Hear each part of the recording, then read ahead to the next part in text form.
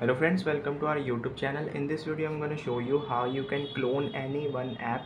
I show you how you can clone the youtube app. How how you can clone youtube. Before watching this video if you have not subscribed to our youtube channel then subscribe to it and like our video. So let's start friends. First you have to open the settings option. Then here it is app management. You can see here option click on it and then swipe down. You can see XClone here in the more settings. Click on XClone. Here are downloaded apps here. Uh, you cannot uh, double the app of system apps. If I choose WhatsApp then uh, click on the WhatsApp button. And you can see the clone app added to the home screen. Press back. You can see the WhatsApp 2 is downloaded here.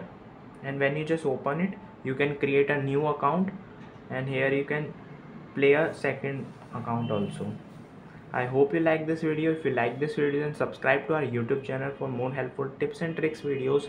See you next time